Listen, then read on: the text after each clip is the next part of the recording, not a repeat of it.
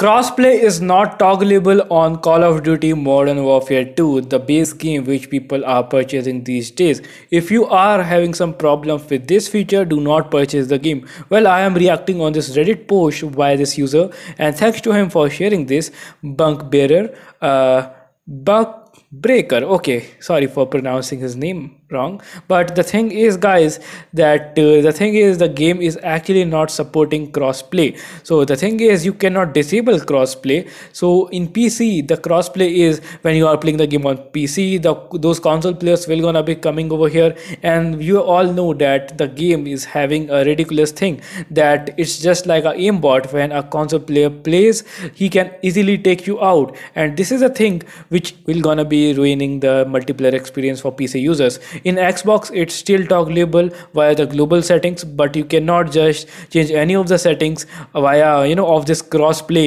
in the modern warfare 2 pc version. So this dude is reminding all of us that do not play modern warfare 2 on pc just do not buy it for pc because it will just gonna be spoiling all of the experience for you. This reddit post i'm gonna be leaving the direct link to this reddit post so you guys can check out the opinions what people are talking about. So this is the opinion of the people guys.